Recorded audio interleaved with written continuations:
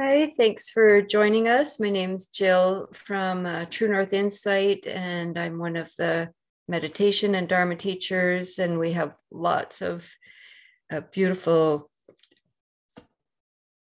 community of teachers now with lots of different um, times and groups. So check that out on uh, True North Insight. I'll put the link down below if you're watching later on YouTube. And thanks to those who have shown up it feels like in person on the Zoom call here. Isn't that a statement? Um, thank you all for being here.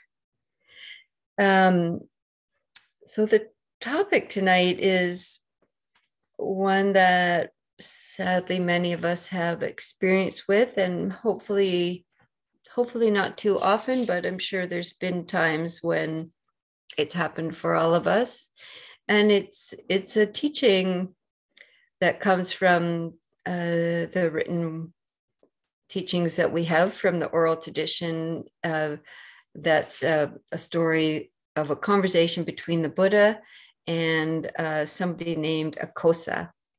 Or in some, I'm working with three different translations here from this written translation. And um, in one, it says Akkosaka, and the others it says Akkosa. And Akkosa is basically a nickname, really, because uh, that Akkosa is a Pali word. And when I looked it up it, in the Pali English dictionary, it means someone who speaks abusively or contemptuously um, to to someone or about others. Um, Akkosa means uh, also it said shouting at, abuse, insulting, reproaching, and reviling. And so I looked up what reviling means. It basically means uh, verbal abuse. And so this um, conversation is happening by someone named Akkosa. So maybe they're like like this a lot, and they've earned this moniker, this nickname of you know the one that's abusive, and I'm sure we can uh, relate to people, hopefully, that we don't know personally, but I know many of us do, um, that people that, that talk like that a lot. Uh, so you can just nickname them a Kosa and they won't know what you're saying. That's probably not a nice thought. Oh dear. Um, so this uh, the story starts where the Buddha is um, staying at uh, it's called the the bamboo grove near the squirrels feeding place. And uh, sometimes it's called the squirrels sanctuary. Um, he's obviously there being sheltered and practicing.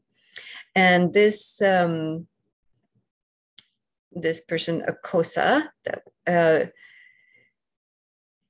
is um, really unhappy and angry because they've found out that um, someone in their community, a Brahmin, a, a teacher, somebody maybe that they followed or admired, has become a follower of the Buddha.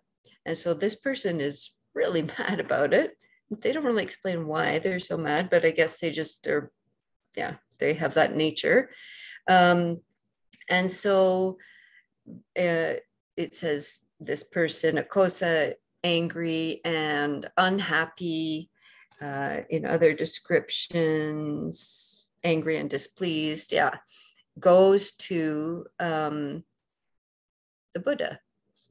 Uh, I think it's before the Buddha is fully awakened because they're referring to him as Gotama, the great monk Gotama. I think you know, all of these versions probably doesn't matter. So, angry, and unhappy, he goes to the Buddha um, and approached him, and he abused and criticized what they call here the Blessed One in foul and harsh words.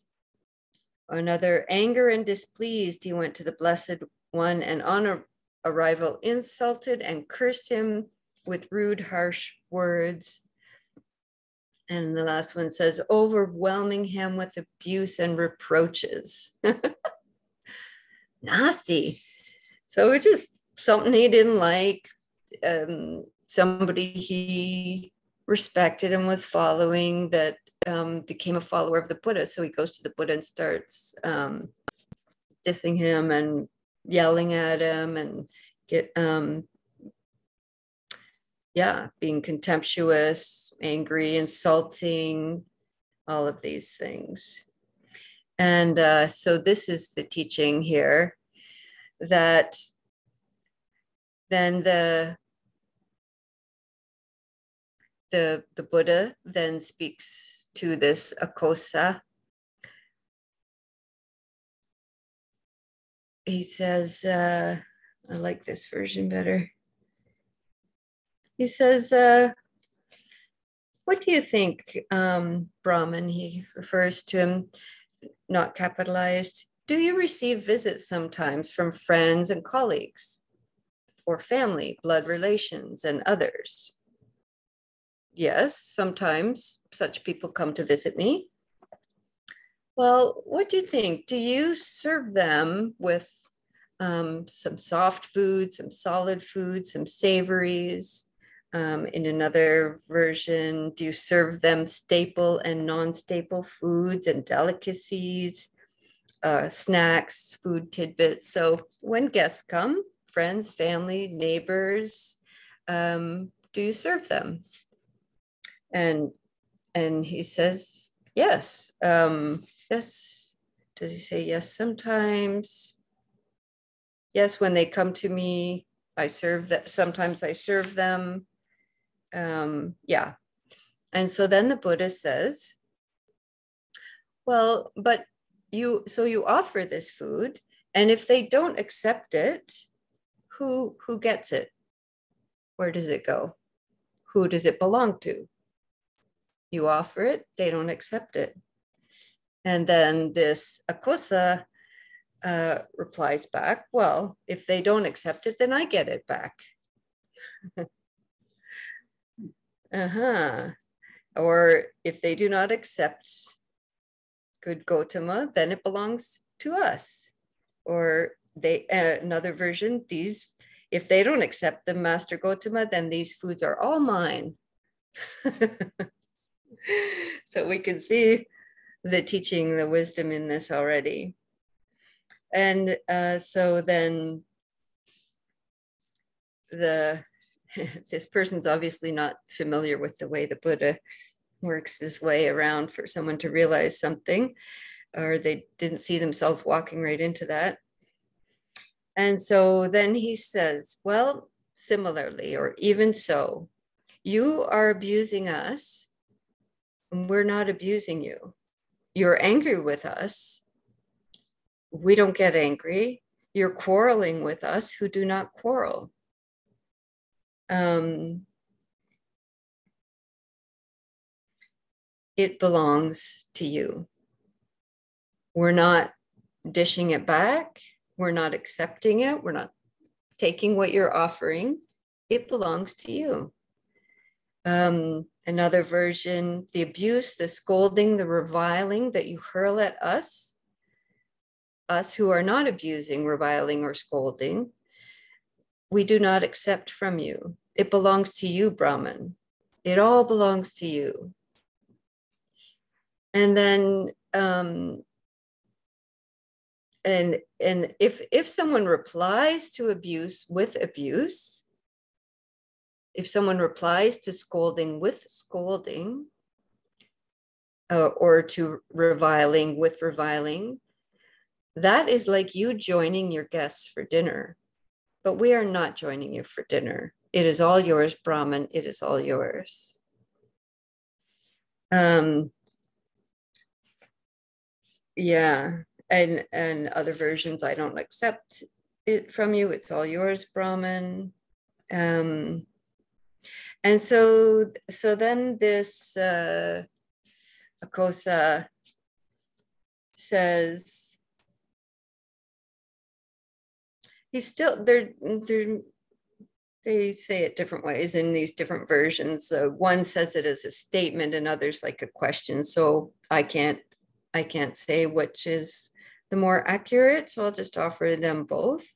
Um, so in this one, he says, people, including the king, know the venerable Gotama, which is the Buddha, Buddha's um, birth name, Gotama. Um, they know him this way. The monk Gotama is the worthy one. When does the venerable Gotama become angry? Says it as a question. And um, in others, it's said like an accusation again, like a like a um, a projection or a statement and and so he's saying yeah and you you still get angry. And so um the buddha replies to that then. Uh and there's this lovely verse i won't try to um mix up different versions but it's basically in the verse going over the teaching and saying that if someone is abused and answers back with abuse of the two, they show themselves to be the worse. So it's saying that if somebody, you know, is um, being abusive and contemptuous, yelling, insulting, and we answer back in the same way, then this is um, seen that uh, you make things worse when you flare up at someone who's angry.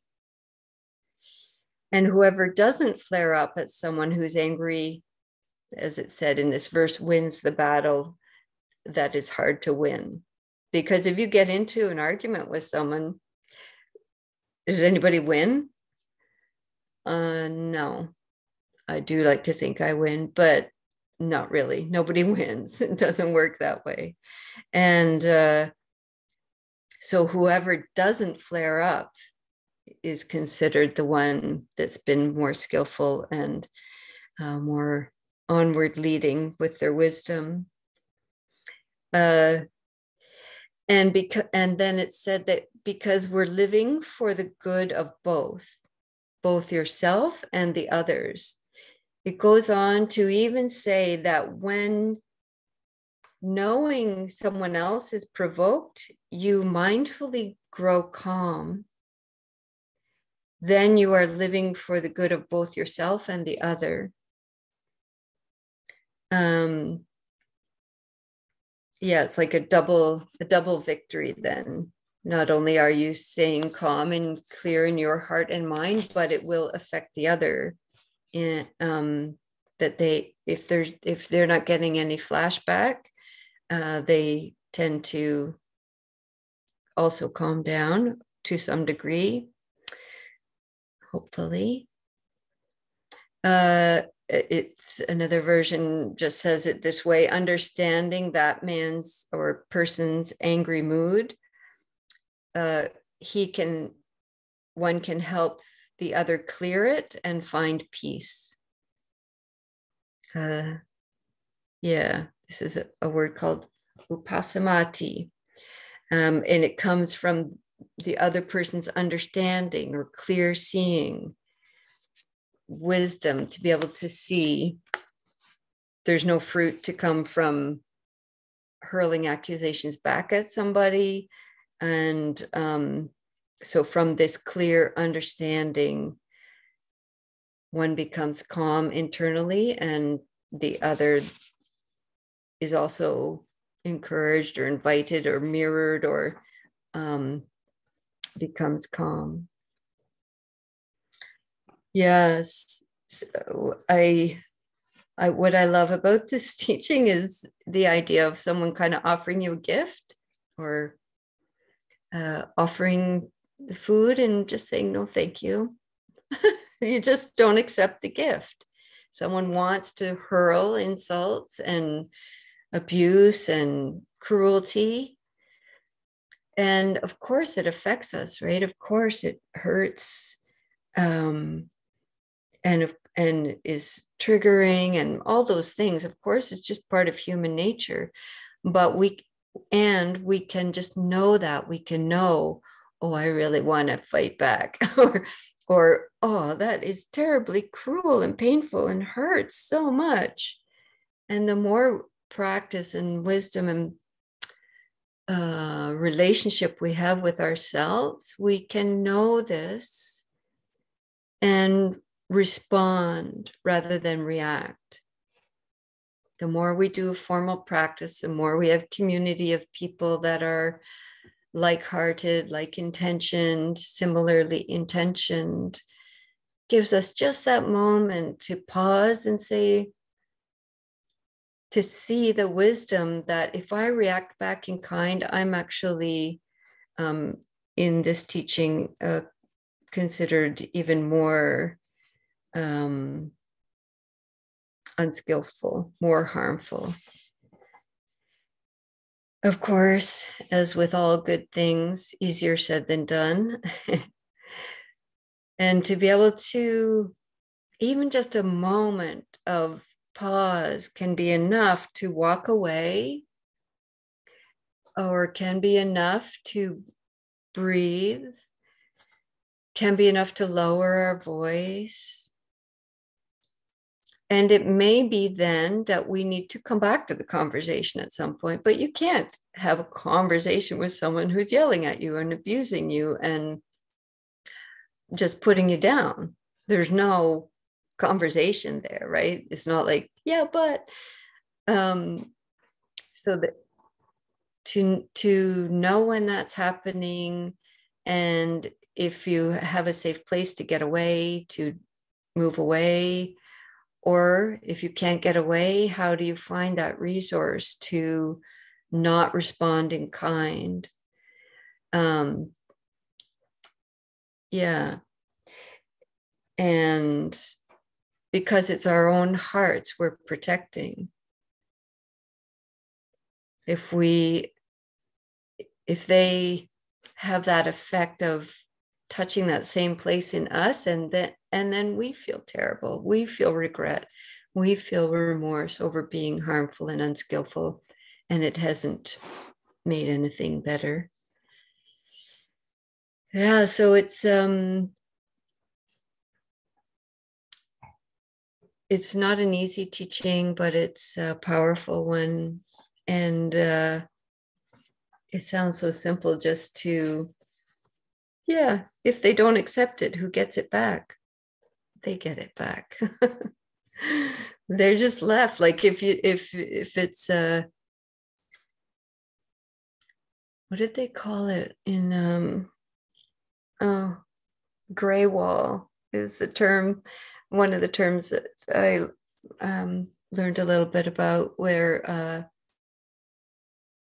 yeah, just letting it be re- reflected back on the person, not accepting it.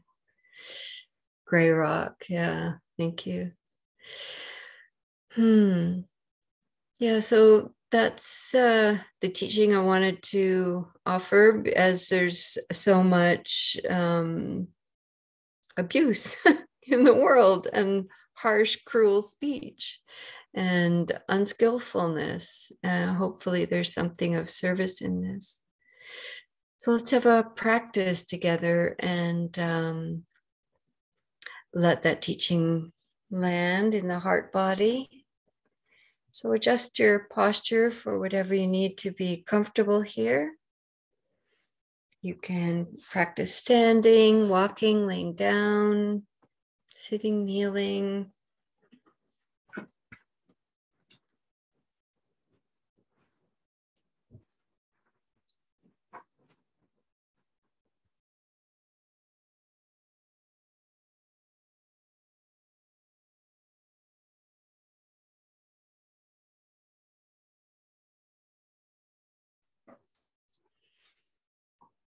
Mm.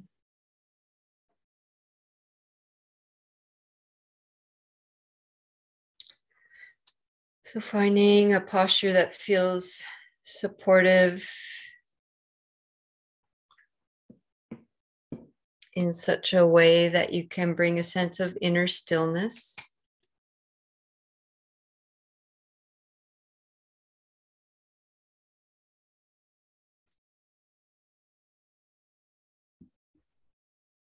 Notice what place for the eyes is most supportive for your energy right now.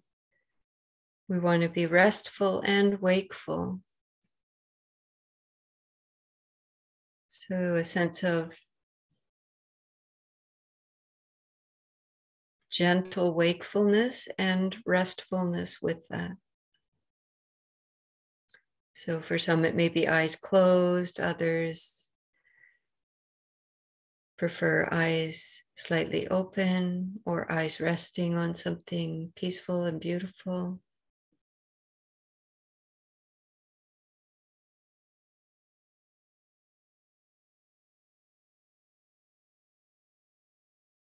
As the eyes come to rest, widen the forehead and see if some ease can come across the expression.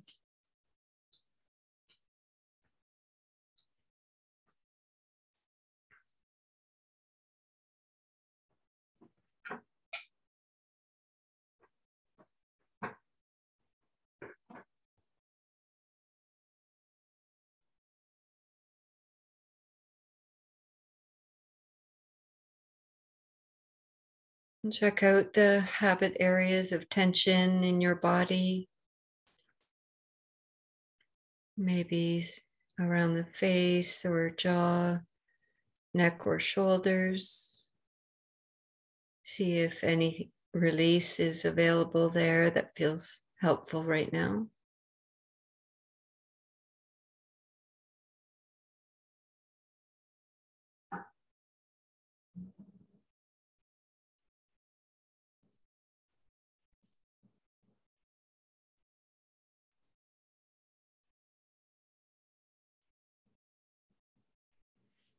Allow the weight of the shoulders to slide down.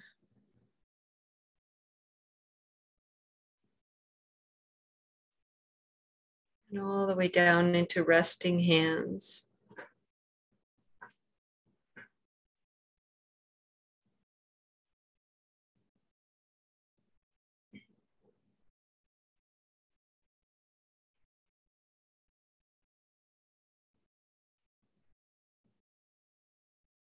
And then a little check in into the areas of the heart center and belly center.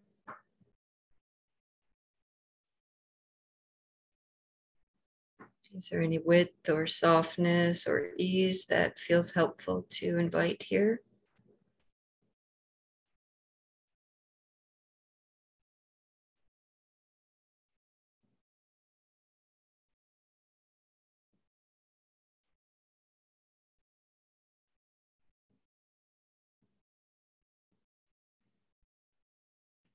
So that as the upper body relaxes, we may begin to feel a bit more weightedness through the pelvis, hips, legs, feet.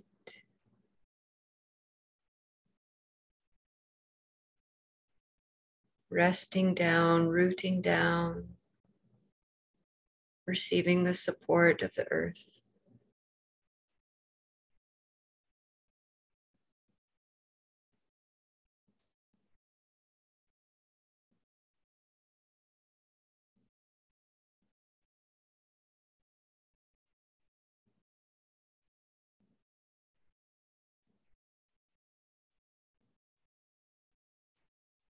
And then for a few moments here, as um, I'm, we share the silence together, just opening to the body in this moment, can kind of feel a sphere of attention, awareness that includes your whole being in whatever position the body's in.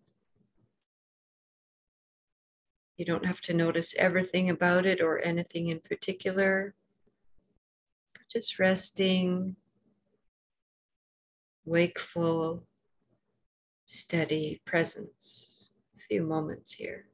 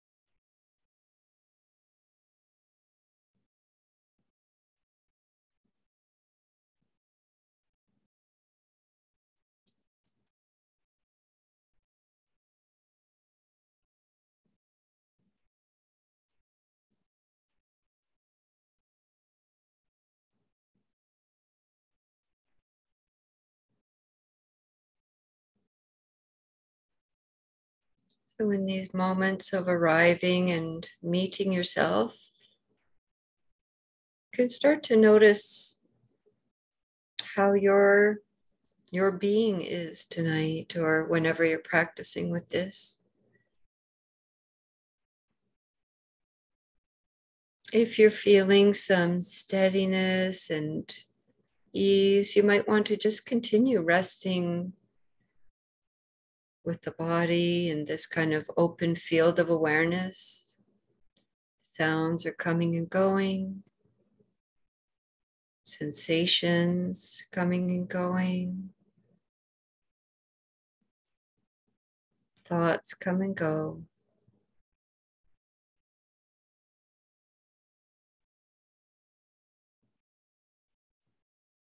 Without picking up anything and abandoning ourselves, just resting here, meeting ourselves.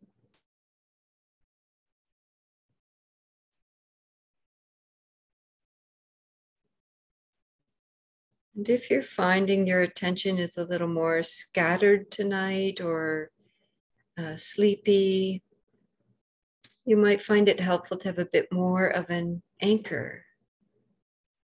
A common anchor is to focus a little more on the breath.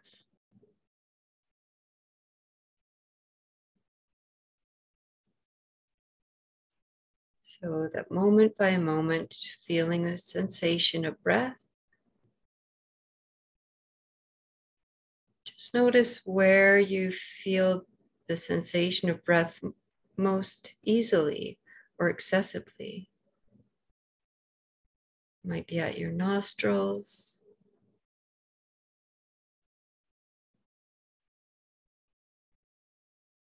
Or the rise and fall of the chest.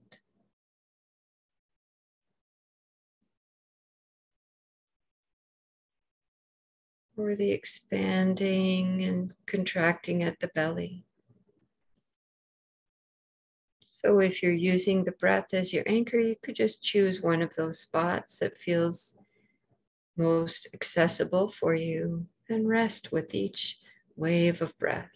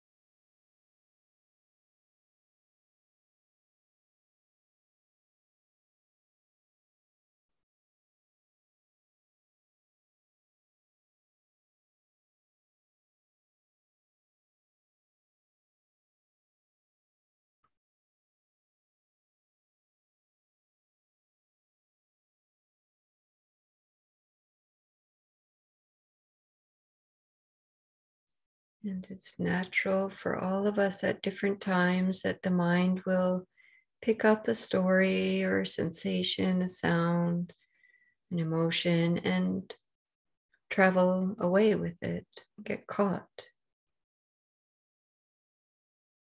And not to add judgment to it, but just gently noticing and beginning again. Resting with the whole field of the body or with the breath.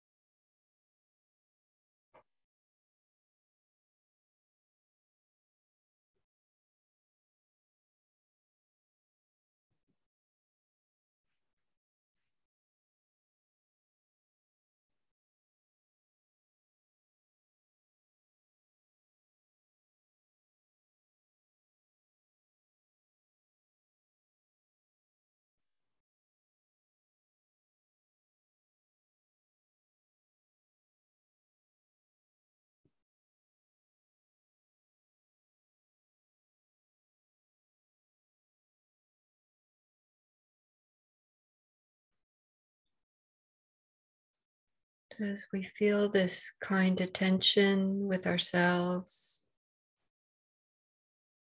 in the flow of the present moment, we could really gently just float in the thought of visiting with someone and they offer you some refreshments or snacks or delicacies or food. And you just say, no, thank you.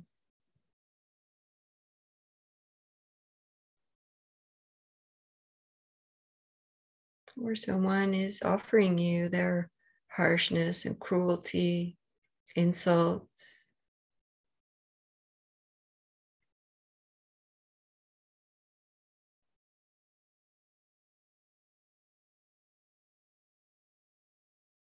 And you don't accept it and it belongs to them.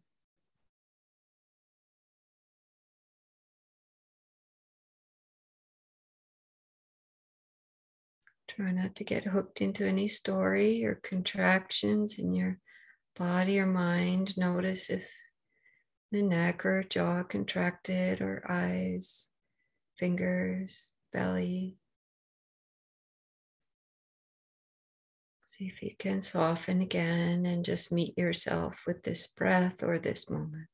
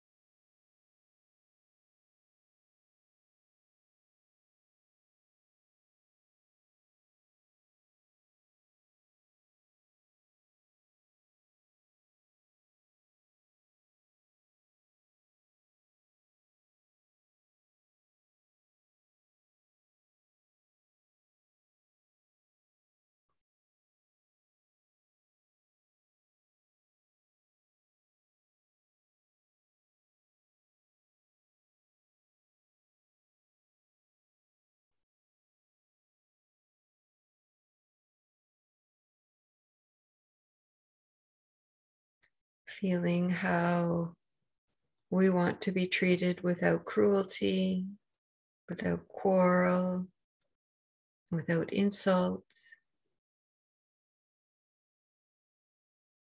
without shouting. And we resolve to offer that back to the world because we know that's what we wish for.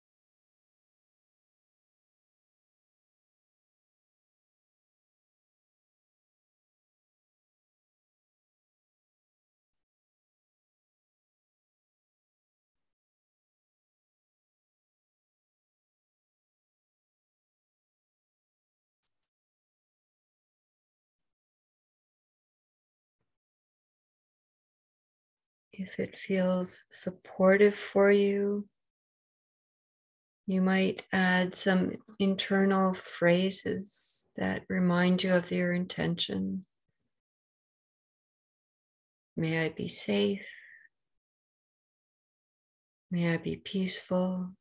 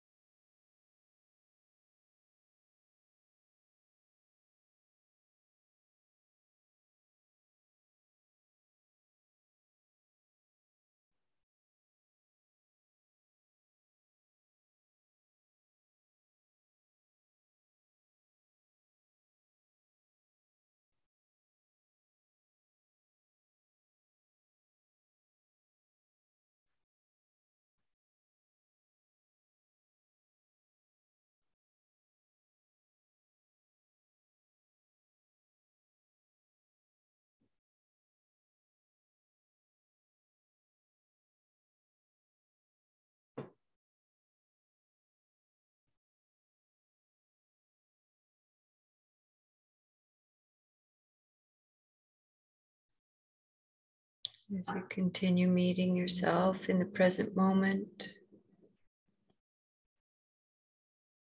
feeling inspired by the words from this teaching, this sutta. You live for the good of both, your own and the others. When knowing the other is provoked, you mindfully grow calm.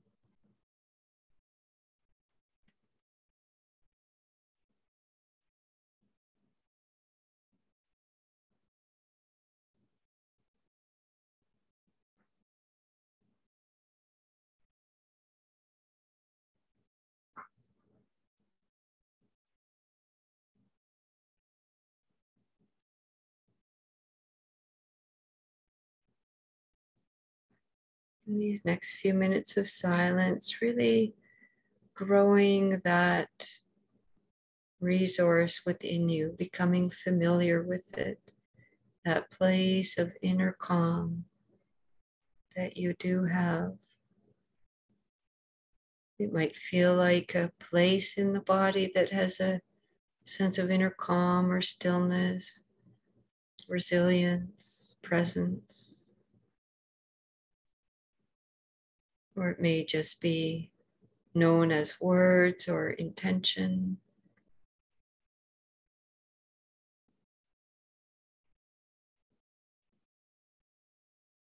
A few more minutes here cultivating this and becoming familiar with it.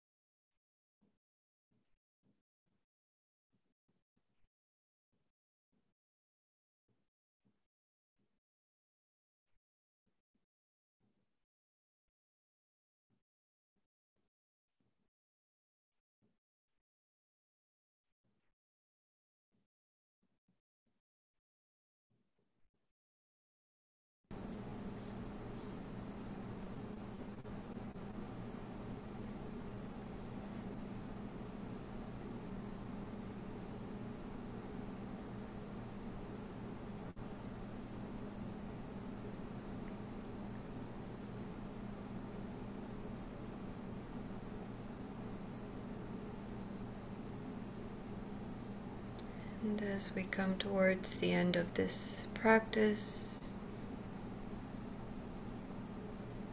If it felt like there's a place where this calm resides, just really letting that land. Or is there a phrase or word that reminds you? Or a part of the breath that feels like releasing some steam? Just take another moment to check that out for yourself, and then I will ring the bell in a moment.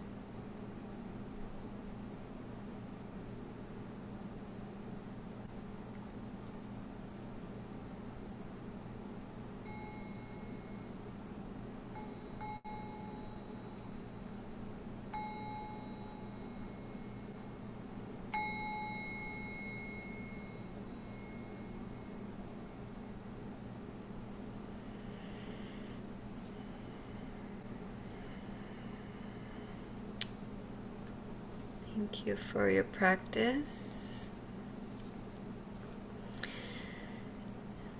And um, just to clarify in case it, it wasn't clear, um, this is not at all to say that um, you should just sit calmly and when someone is being abusive in your presence if you you know this is about obviously safety first and and it's uh, if you're able to leave the area call someone have someone be with you whatever you need to do for safety um, please do.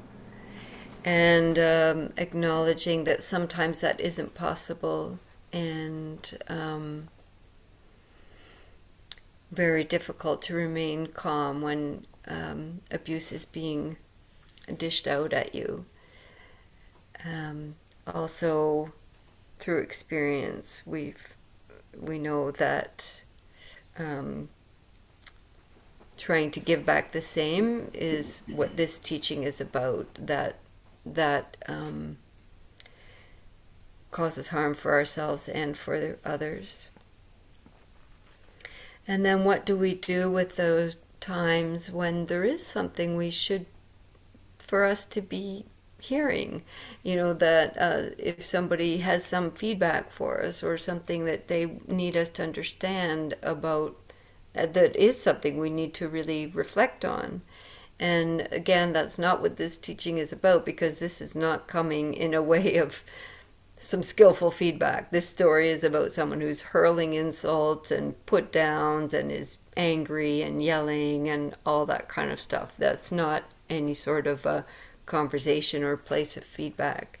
So it's not to completely dismiss that there are times we need to hear something unpleasant from somebody and um, take that into account and into uh, reflection and our behavior. Uh, so just wanted to clarify these are, uh, that's not what this is, a, is referring to. This is a, a case of abuse where um, it's uh, not accepted and then it stays with the owner. Um, one of the other phrases here, when it's kind of given in a verse form, it says, uh, it's, it's uh, nicely worded. This this one. Um, the Blessed One said it this way in verse, or the Buddha. How could anger rise? Because in this version, they're saying, "You still get angry, right?" And and he replies, "How could anger rise in one who is free?" Wrathless, all passions are tamed, at peace, freed by the highest insight, um, so abiding, perfectly serene. If a man's, they keep using men here, if a person's abused and answers back, of the two, they show themselves to be the worse if you answer back. But one who does not answer back in kind celebrates a double victory, from their actions, both sides benefit. They themselves benefit and their reviler too, or the person abusing them. Understanding that person's angry mood, one can help them clear it and find peace and then become the healer of them both because both benefit thereby. People think that a man like this is a fool, for they are not understanding the truth or the Dhamma. Uh, so he's talking about how some people think you're being foolish if you just let someone yell at you and you don't yell back. And um, this teaching is saying thinking that way is not understanding the Dharma. So thank you for joining. If you watched on uh, the YouTube recording, it'll be on the True North Insight channel. Um, probably not till tomorrow night because I'll, I need to get back into uh, my Wi-Fi and um, um, and then just check the links down below the recording uh, and I'll reference this teaching. Okay. Thanks for being here and for folks on the Zoom call. We can hang out for a bit if you like. I'll just stop there.